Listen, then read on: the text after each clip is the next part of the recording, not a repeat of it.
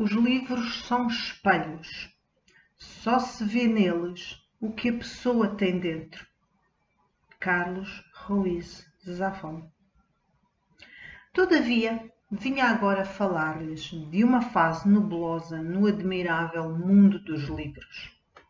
De tempos a tempos luto com o encontro do livro ideal para o momento presente. Sim, os livros são também o reflexo de nós próprios. Só os escolhemos mediante o que somos naquele preciso momento, dias ou semanas. Estou um pouco saturada de livros graves e talvez vá voltar aos romances. Talvez fosse uma boa ideia distrair e descobrir algo de novo.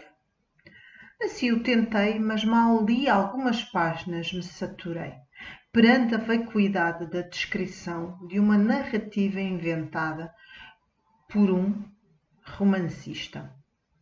É como não apetecesse mais de devaneios e histórias vulgares e preferisse sempre pensamentos e filosofias de tonalidade da ciência política, por exemplo, porque sempre me trazem algo de novo do qual nunca conjecturei.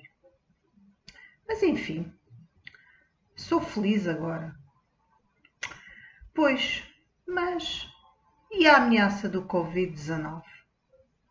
Não posso deixar de pensar e de concluir que a mente humana é propensa para o prazer e tem uma verdadeira precisão de se focar em algo espetacular, viciante, belo, empolgante, pela qual se possa sentir enlouquecida, excitada, apaixonada, a par de uma constante necessidade de informação e de diversidade.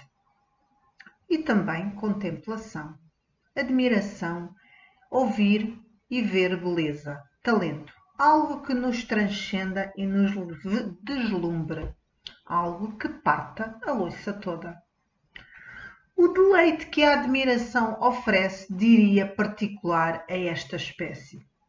Faz com que a arte em todos os domínios e o talento seja glorificado e tenha proporcionado a origem, a criação de, por exemplo, pirâmides no Egito e na América do Sul, tão comparáveis e grandiosas, mas que têm ao mesmo tempo uma base análoga, a vaidade. A vaidade, admiração e deslumbramento estão de braços dados e nós, sapiens, precisamos de facto delas.